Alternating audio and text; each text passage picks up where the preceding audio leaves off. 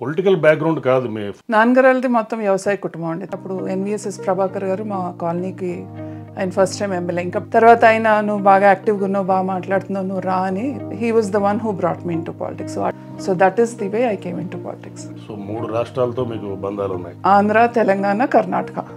So మీకు చాలా భాషలు వచ్చని విన్నాను. లేకపోతే బీజేపీలో నేషనల్ లీడర్ అవ్వడానికి రాబోయే ఎలక్షన్స్లో తెలంగాణలో మళ్ళీ టీఆర్ఎస్ గవర్నమెంట్ ఫామ్ చేసే పరిస్థితి ఉందా? టీఆర్ఎస్ అసలు లేదు తెలంగాణ రాష్ట్రంలో. బీఆర్ఎస్గా మార్చుకు బీఆర్ఎస్ని ప్రజలు నమ్మే పరిస్థితిలో లేరు. ఒక సెంటిమెంట్తో సాధించుకున్న రాష్ట్రంలో కల్వకుంట్ల కుటుంబానికి మాత్రమే చేసుకుని తప్ప బీఆర్ఎస్ ఏంటి? నాకు అర్థం కాలేదు. టీఆర్ఎస్ అంటే తెలంగాణ రాష్ట్ర సమితి. అంటే భారతం అనేది రాష్ట్రమా? భారత రాష్ట్రమా? లేకపోతే కేసీఆర్ గారే సమాధానం చెప్పాలి. ఈ బార్లు రెగ్యులరైజ్ చేసే స్కీ- స్కీమ్ ఏమో ఈ బీఆర్ఎస్ అంటే ఇవాళ రాష్ట్రం అయిపోయింది దేశాన్ని ఉద్ధరిద్దాం బార్లు పెట్టి అనే ఉద్దేశంతో వెళ్తున్నారేమో. మరి బీజేపీ తరపు నుంచి కేసీఆర్ని ఢీకొట్టే రాష్ట్ర నాయకుడు ఎవరని మీరు అనుకుంటున్నారు? అదే బీజేపీలో ముఖ్యమంత్రి స్థాయి లీడర్ ఎవరిని ప్రొజెక్ట్ చేయబోతున్నారు మీరు? మా పార్టీలో ఎవరైనా ఏ స్థాయికైనా ఎదగొచ్చు. ఇవాళ నరేంద్ర మోడీ గారు ఎక్కడి నుంచి వచ్చారు? ఇవాళ ప్రధానమంత్రి ఏ రకంగా అయ్యారో మనం చూసాం.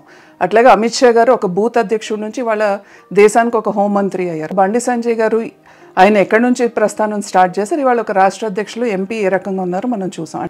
దళిత ముఖ్యమంత్రి అని చెప్పి మొదట్లో అట్లెట్లా కేటీఆర్ మరి మేము ఉన్నాం కదా అని చెప్పి. అది హరీష్ రావు గారా లేకపోతే కవితనా లేకపోతే ఇంకొకరా ఇంకొకరా లీవ్ ఇట్ తెలంగాణ భవన్లో ఒక కుక్క కొన్న వాల్యూ కూడా తెల తెలంగాణ రాష్ట్రంలో ఆడవాళ్ళకి ఇవ్వట్లేదు అన్నారు. ఏంటి అంటే అంత మాట అనాల్సిన పరిస్థితి? మీకు కుక్క మీద ఉన్న ప్రేమ ఇవాళ ఆడపిల్లల మీద లేదు అనేది ఒక బాధ కుక్క చనిపోతే నువ్వేమో వాళ్ళపైన కేసులు ఎందుకు? నిన్న దమ్మాయిగూడలో మనం చూసాం ఒక చిన్న పిల్ల చనిపోతే. రెండు వేల ఇరవై మూడులో ఈ రాష్ట్రానికి ముఖ్యమంత్రి కేసీఆర్ కేటీఆర్? రెండు వేల ఇరవై మూడులో ఈ రాష్ట్రానికి ముఖ్యమంత్రి బీజేపీ అభ్యర్థి అయి ఉంటారు. నాలుగు ఎంపీ స్థానాలు కూడా మేము గో అలోన్ గ్రో అలోన్ అనే దీంతోనే ఇండివిజువల్గానే వచ్చాం. బట్ స్టిల్ యూసీ మేము మాకు ఫార్టీ ఎయిట్ సీట్స్ వచ్చినాయి. అసలు దేశంలోనే ఇద్దరు ఎంపీలు ఉన్న టైంలోనే ఇవ ఇదే కేసీఆర్ గారు కూడా అసలు ఏమన్నారంటే బీజేపీ అసలు ఎక్కడుంది బీజేపీ లేదు అని మాట్లాడారు. మీరు కనుక మాకు ఓట్లు వేయకపోతే మీకు పెన్షన్ రావు నువ్వు పంజాబ్ వెళ్ళి మూడు లక్షలు ఇచ్చో ఇచ్చొస్తేవి ఒరిస్సా వెళ్ళి మూడు లక్షలు ఇచ్చొస్తేవి మరి ఈ రాష్ట్రంలో రైతులకు లక్ష రూపాయల రుణమాఫీ చేయనడివి. సో నేషనల్ లెవెల్లో మీకు ఇష్టమైన రాజకీయ నాయకుడు? సుష్మా స్వరాజ్ అమిత్ షా అండ్ మోడీ గారిని వాళ్ళు కలిశాను. సో ఐ వుడ్ సే టీడీపీలో అయితే ఎన్టీ రామారావు గారు. ఎందుకు భయపడాలి? అది మల్లారెడ్డి గారైనా ఇంకొకరైనా ఇంకొకరైనా.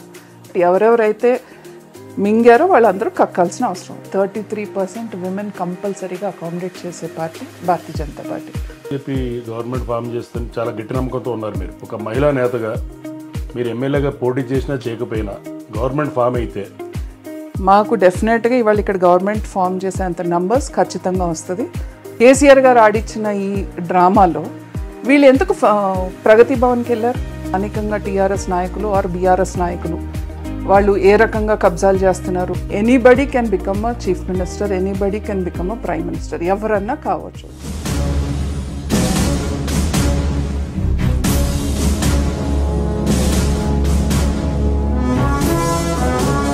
Please subscribe to SRP live